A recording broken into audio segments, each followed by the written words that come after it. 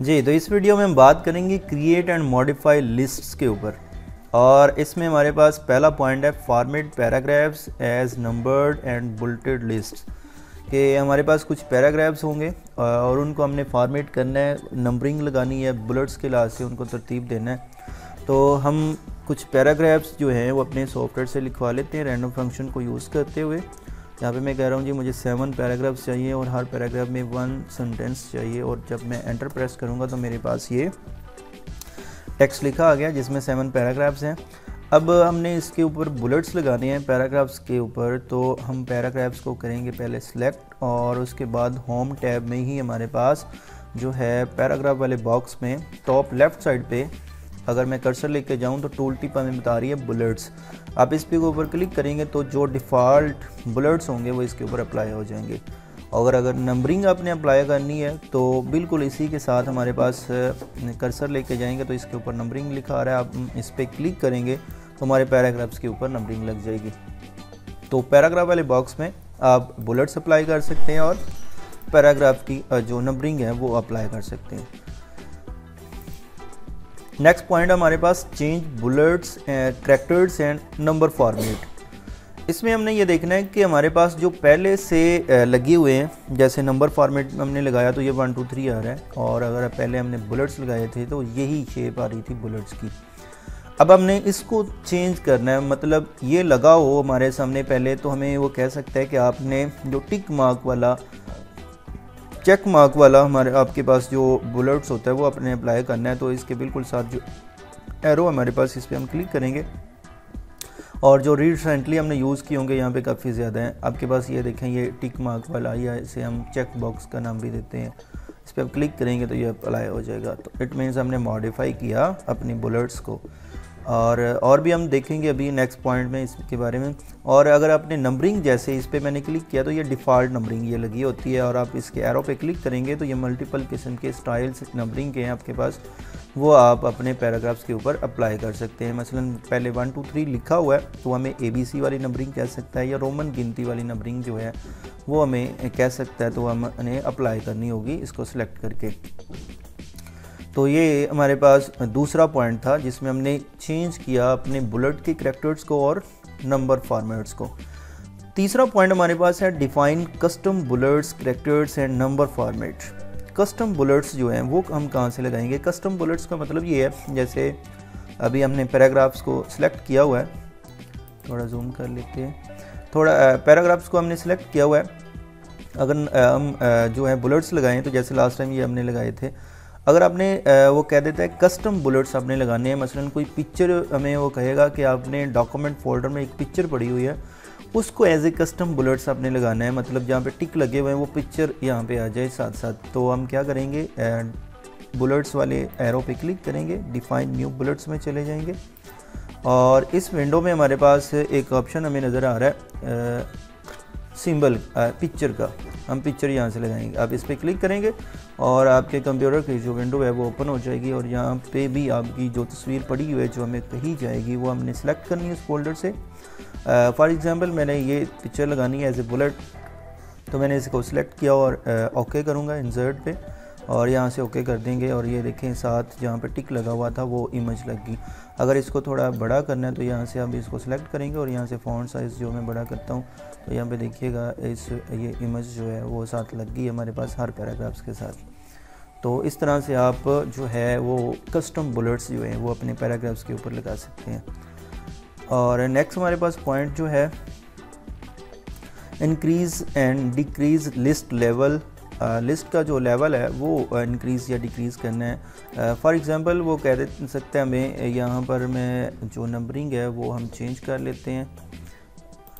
जो हमारे पास नंबरिंग है, वो नंबरिंग लगा लेते हैं। अब इसमें वो हमें कह सकता है कि ये जो टू पैराग्राफ्स हैं इसके ऊपर आपने लिस्ट लेवल थ्री लगाना है या टू लगाना है। वो कैसे हम लगाएँगे? पहले अपना टैक्स सेल सेलेक्ट कर लेंगे, उसके बाद हमारे पास ये नंबर के बिल्कुल साथ ही हमारे पास लिस्ट मल्टीपल लिस्ट का ऑप्शन है, इस पर आप क्लिक करेंगे और इसमें आपने नीचे आ जाना है और हमारे पास लिस्ट लेवल वाला एक ऑप्शन है, इस पर हम कर्सर लेके जाएँगे तो ये लेवल्स आ जाएँगे। जिसके ऊपर भी आप कर्सर लेके जाएँगे, वो आपको बताएगी टूल टिप की ये कौन सा, ये देखें लेवल थ्री है और ये लेवल फोर है। हमें थ्री कह सकते हैं तो मैं इस पर क्लिक करूँगा।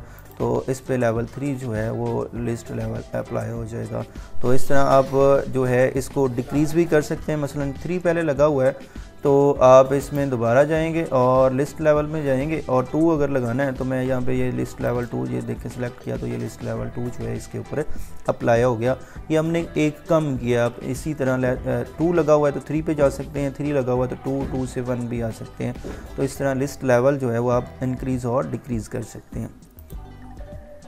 नेक्स्ट हमारे पास पॉइंट है जी restart and continue list numbering restart करना या कंटिन्यू इसका क्या मतलब है? मसलन मैं इसको जो है यहाँ से ख़त्म कर देता हूँ, जैसे अभी हमारे पास ये रोमन गिनती लिखी हुई है सेवन तक लिखी हुई है। और यहाँ पर फ़र्ज़ कर ले मैंने ये कुछ टेक्स्ट लिखा, एक और मैंने टेक्स्ट लिख लिया, एक और पैराग्राफ एक और पैराग्राफ कुछ टेक्स्ट लिख लिया।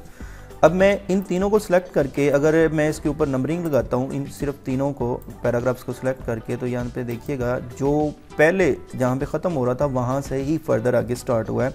इसे हम कंटिन्यू कहते हैं। अब हमें वो कह सकता है कि लास्ट वाले जो तीन पैराग्राफ्स हैं, इनको सेलेक्ट करें और इसमें जो नंबरिंग हो, वो कंटिन्यू ना हो, वहाँ से जैसे सेवन से एट ना हो बल्कि दोबारा वन से स्टार्ट हो। तो आप क्या करेंगे, जैसे अभी हमने तो क्लिक किया तो एट से स्टार्ट हुआ। हम एट वाला जो पॉइंट है, इस पर क्लिक करेंगे राइट क्लिक और यहाँ पे हमारे पास ऑप्शंस में अगर मैं आपको दिखाऊँ तो यहाँ पे देखें, एक हमारे पास आ रहा है री स्टार्ट एट आई आई मतलब वन से दोबारा हम स्टार्ट करेंगे। अब इस पर क्लिक करें तो दोबारा वन से जो है नंबरिंग स्टार्ट हो जाएगी। अगर यहाँ पे देखें तो ये देखें, दोबारा वन से जो है नंबरिंग स्टार्ट हो गई है। अब मे भी हमारे हमें ये कह सकता है दोबारा वन से स्टार्ट हो, या इस तरह से दिया हो, जैसे सेवन से दोबारा वन स्टार्ट हो रहा है तो हमें वो कह सकता है ये कंटिन्यू बन जाए मतलब सेवन से एट हो वन ना हो तो आप दोबारा इस वन पे क्लिक करेंगे राइट क्लिक और यहाँ पे देख अगर क्लिक नहीं हुआ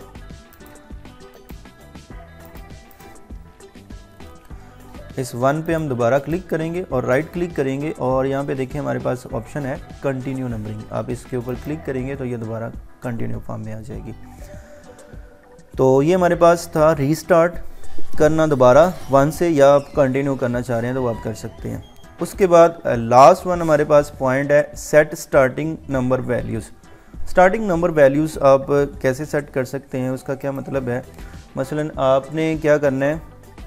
कि पॉइंट फाइव जो हमारे पास यहाँ पर है नंबरिंग लगी हुई है, या नंबरिंग हम इसको चेंज कर लेते हैं। मैं आल सेलेक्ट करके वन टू थ्री दोबारा जो है नंबरिंग इसके ऊपर अप्लाई कर लेता हूँ। और हमें वो कह सकता है कि ये फाइव से जो आपका सिक्स स्टार्ट हो रहा है तो ये सिक्स स्टार्ट ना हो, बल्कि ये वन हंड्रेड से स्टार्ट हो, या कोई नंबर हमें पॉइंट दे सकता है, यहाँ से दोबारा स्टार्ट हो। तो दोबारा से अगर आपने वन से स्टार्ट करना है तो वो तो हमने अभी देख लिया। लेकिन कोई नंबर दे सकता है वन हंड्रेड से टू हंड्रेड से स्टार्ट हो। तो आपने उस नंबर पे क्लिक करना है जिससे स्टार्ट करना है, उसके ऊपर राइट क्लिक करेंगे तो ये हमारे पास ऑप्शंस आ जाएँगे। इसमें देखें तो हमारे पास ये कंटिन्यू के नीचे हमारे पास है सेट नंबरिंग वैल्यूज़ आप इस पर क्लिक करेंगे तो एक छोटा सा बॉक्स हमारे पास आएगा और इसमें हमारे पास हमें स्टार्टिंग वैल्यूज़ जो है वो पूछ रहे हैं कि आपने दोबारा से कौन सी वैल्यूज़ देनी है। मसलन मैं हंड्रेड वैल्यू दे देता हूँ इसको और ओके कर देता हूँ। तो यहाँ पे देखिएगा हमारे पास ये 100 से फर्दर जो है वो स्टार्ट हुआ है।